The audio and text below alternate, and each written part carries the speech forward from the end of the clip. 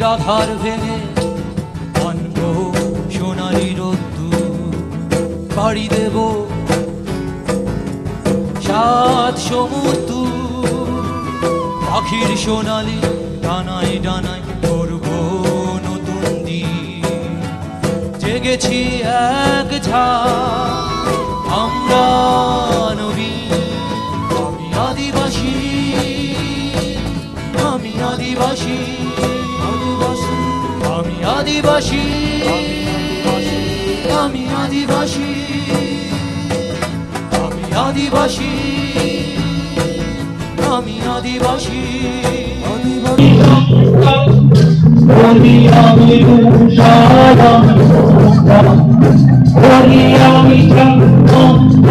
করেছে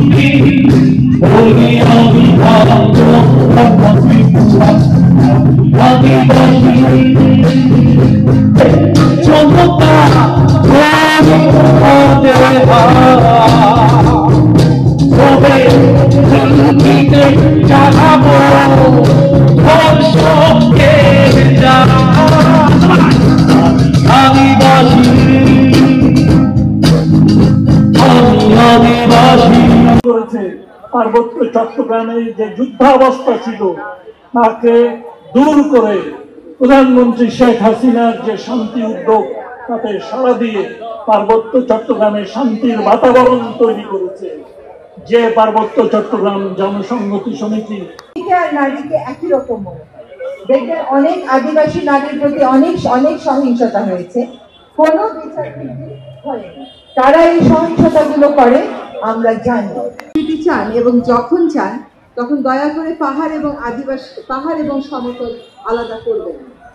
একটা প্ল্যাটফর্মে এসে দাবি করেন, পাহাড়ের জন্য অনেক কিছু হয়েছে, কিন্তু কাজকে কিছু এগিয়েছে, আইন হয়েছে, সংস্থা হয়েছে, কাজকে কিছু এগিয়েছে কিনা, সেটা হচ্ছে সবচেয়ে বড় কথা। তো প্রথম কথা হচ্ছে, নানান শব্দ দিয়ে আমাদেরকে বিভক্ত করে দেয়। দয়া করে বিভক্ত হবেন না, ঐক্যবদ্ধ হবেন।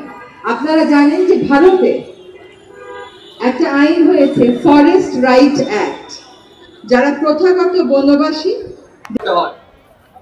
আমার নিজের গ্রাম, যেখানে আমাকে সরিয়ে সেখানে পর্যটন কেন্দ্র গঠন করা হয়েছে, সেখানে প্রবেশ করার জন্য আমার কাছে প্রবেশ মূল্য নেওয়া হয়। এই কেমন কথা? আদিবাসীদেরকে সেই বনে প্রবেশ করার জন্য টিকিট মূল্য নেওয়া হয়। যে আদিবাসীরা একটা গাছকে রক্ষা করার জন্য জীবন দিয়েছিল সে ব্রিটিশ আমলে ঘটনা সবাই জানেন, একটা গাছকে জমিদার এবং ব্রিটিশরা সেই গাছ রক্ষা করার জন্য আদিবাসীরা নিজের জীবন দিয়েছিল। সেই আদিবাসীরা সহ সে গাছ গাছকে কেটে ফেলা হয়েছিল। অর্থাৎ একটা গাছকে বাঁচানোর জন্য যে জীবন দিয়ে এই গাছপালা আমাদের ভাই বোন কেউ ভাই হয়ে ভাইকে হত্যা করতে পারে না। আমরা বলি, যে অঞ্চলে যে গাছ আছে, যে দেশীয় গাছ আছে যে মাটিতে তার জন্ম, সেই গাছকে সে মাটিতে থাকতে দাও। আমরা দেখতে পাচ্ছি, আপনারা দেখবেন মধ্যপুরের শালবনে অনেক ধরনের পার্বত্য চট্টগ্রাম শান্তি চুক্তি। তার যে একটা পরিণতি দেখতে চেয়েছিলাম, সেটাও আমাদের কাছে এখন পর্যন্ত দৃশ্যমান হয়নি। পার্বত্য চট্টগ্রামে থেকে শুরু করে সমতলে আমাদের আদিবাসী বন্ধুদের যে হত্যা করা হয়েছে, সেই হত্যারও কোনো সমাধান, কোনো বিচার কেউ পায়নি।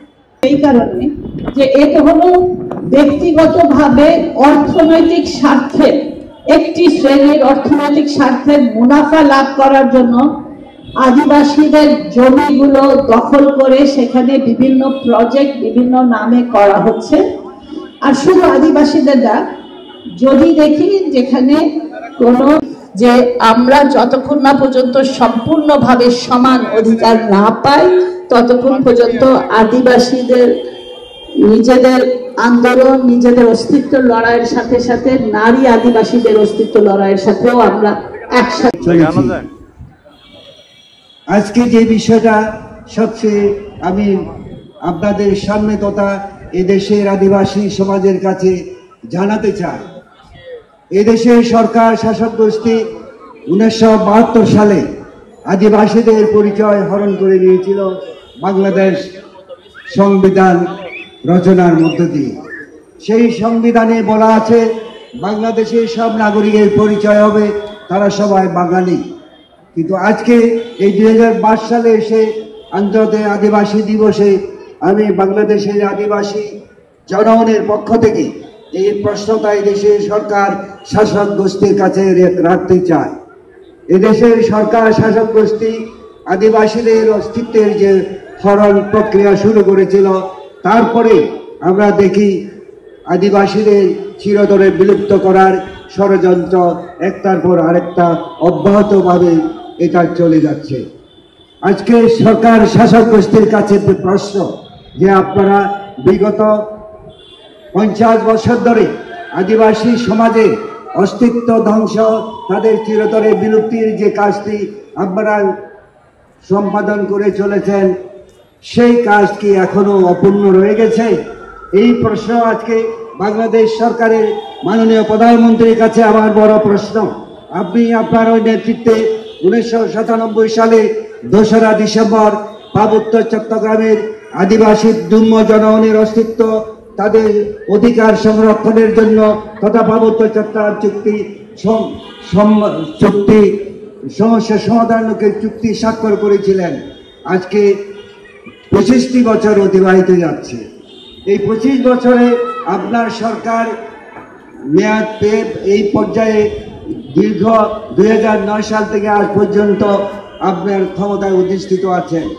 আজকে পার্বত্য অঞ্চল সহ বাংলাদেশের বিভিন্ন অঞ্চলে আদিবাসী মানুষের যে অধিকার, যে আদিবাসী সমাজের যে অস্তিত্ব সংরক্ষণের যে যে লড়াই সংগ্রাম সব কিছুর প্রতি আপনার সরকার কতটুকু সম্মান দিয়েছে, কতটুকু গুরুত্ব দিয়ে প্রয়োজনীয় ব্যবস্থা গ্রহণ করেছে।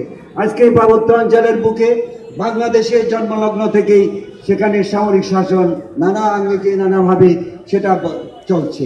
আজ অপারেশন উত্তরণের নামে বাংলাদেশের পার্বত্য অঞ্চলে যে সামরিক শাসন তথা যা পার্বত্য অঞ্চলের আদিবাসী জন্ম জনগণের অস্তিত্ব চিরতরে বিলুপ্ত করার ষড়যন্ত্র আজকে অব্যাহতভাবে চলছে। তার পাশাপাশি আজকে আমরা দেখি সমতলের আদিবাসীদের তাদের অস্তিত্ব সংরক্ষণের জন্য যে সমস্যাগুলো আজকে মুখোমুখি হয়ে আছে, সেগুলো সমাধানে সরকার কোনোভাবে আন্তরিক নয়, এটা সুস্পষ্ট। আজকে দুই হাজার বাইশ সালে আদিবাসী দিবসে এই সরকারের কাছে আমি প্রশ্ন রেখে যেতে বলতে চাই। দীর্ঘ বাংলাদেশ দেশ জন্ম লাভ করেছে, আজকে একান্ন বছর হয়ে চলেছে। বিগত সময়ে আদিবাসীদের উপর চলছে শুধু তার অব্যাহত নির্যাতন, নিপীড়ন, দমন, পীড়ন, ভূমি হারানোর যন্ত্রণা যিনি ভূমি হারিয়েছেন, তিনি বুঝবেন। যার পরিবারে আপনজন নানাভাবে নানাভাবে আঘাতপ্রাপ্ত হয়েছে, জীবন হারিয়েছে, সেই পরিবারের সদস্যরাই তা- সেটা ভালো করে বুঝে। আজকে বাংলাদেশের আদিবাসী জনগণের যে বাস্তবতা, সেই বাস্তবতায় আজকে এমন একটি পরিবার নাই, যেই পরিবার নানাভাবে আঘাতপ্রাপ্ত হয়নি, যে পরিবার নানাভাবে বঞ্চিত হয়নি, শোষণ, নিপীড়ন, নির্যাতনের যাতাকলে তার সমগ্র পারিবারিক জীবন নিষ্পেষিত হয়নি। আজকে সরকার অনেক গালবড়া কথা বলেন, উন্নয়নের কথা বলেন, পার্বত্য অঞ্চলের হাজার হাজার কোটি টাকার উন্নয়নের কথা বলা হয়, কিন্তু আসলে সে উন্নয়ন কার স্বার্থে সেটা একটু গভীরে গিয়ে ভাবলে সেটা স্পষ্ট হয়। আজকে পার্বত্য অঞ্চলে যে উন্নয়নের কথা বলা হয় সেখানে শুধু রাস্তাঘাট করা হচ্ছে করা হচ্ছে পর্যটনের নামে এই রাস্তাগুলো, করা হচ্ছে সামরিক স্বার্থ পরিপূরণের জন্য রাস্তাঘাটগুলো। সেখানে করা হচ্ছে আদিবাসীদের ভূমি অস্তিত্ব বিলুপ্তির জন্য উন্নয়নমূলক তাদের সেই কার্যক্রম। যাও আজকে আদিবাসী দিবসের এখানে যে প্রতিপাদ্য বিষয় সেই প্রতিবাদ্য বিষয় হচ্ছে যে সমাজ সংরক্ষণ ও বিকাশে, সভ্যতার বিকাশে নারীর যে অবদান, নারীর যে ভূমিকা, সেটাকে প্রাধান্য দিয়ে এবারের জাতিসংঘের যে প্রতিপাদ্য বিষয়, সেই প্রতিপাদ্য বিষয়ের ভিত্তিতে আমরা আদি দিবস, আদিবাসী দিবস, এটা প্রতিপালন আমি আমরা শুরু করেছি। সেই সূত্র ধরে আমি বলতে চাই, আজকে गुटा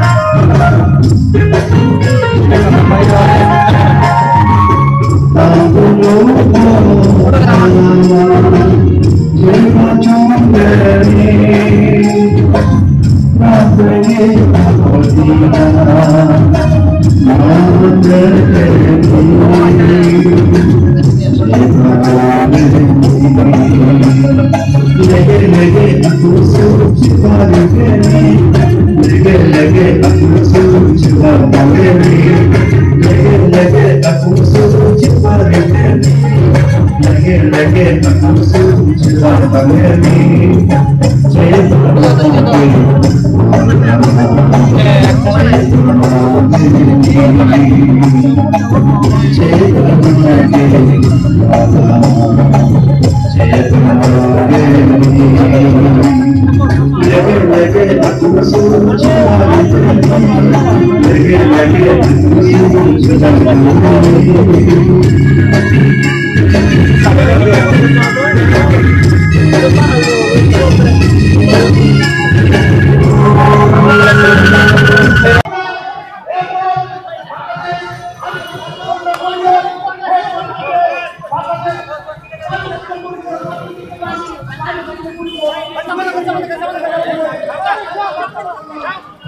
যাবেন যাবেন ভিতরে।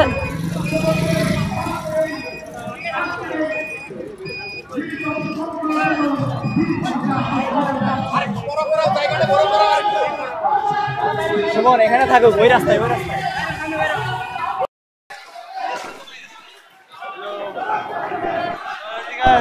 আস্তে আস্তে আস্তে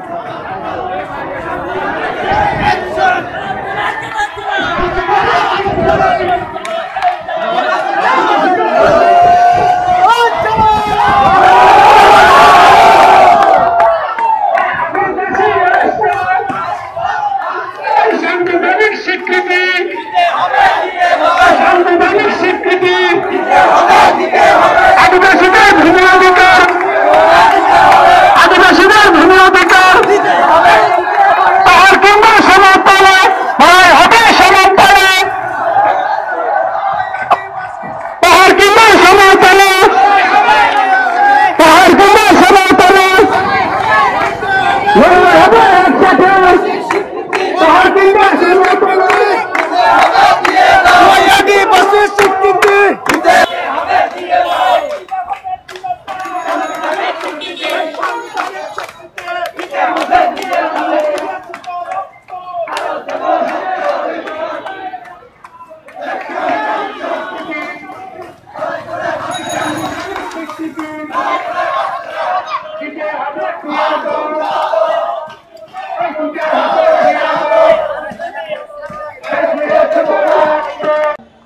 হরেন্দ্রনাথ সিং এবং অন্য বন্ধুরা, আদিবাসী ফোরামের সকল বন্ধুরা, বিভিন্ন সংগঠন থেকে আগত বন্ধুরা, ছাত্র সংগঠন, পার্বতী চট্টগ্রাম উত্তরবঙ্গ বৃহত্তর ময়মনসিংহ, বৃহত্তর সিলেট, গাজীপুর দক্ষিণবঙ্গ যারা এসেছেন মাগুরা থেকে, ঝিনাইদহ থেকে এবং বিভিন্ন অঞ্চল থেকে, সকলকে আবারও রক্তিম শুভেচ্ছা জানাই।